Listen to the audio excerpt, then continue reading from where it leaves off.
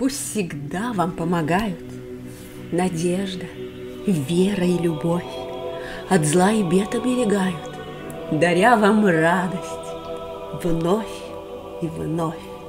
Пусть вера укрепит вам сердце, Надежда душу озарит, Но любовь не даст обжечься И счастьем отблагодарит. Три имени, красивые простые, Слова, что помогают людям жить. Когда-то нарекла детей София, Ее мы и должны благодарить За то, что подарила веру людям, И что с надеждою любовь всегда живем, И если есть любовь, то счастье будет, И в каждый дом пускай оно придет.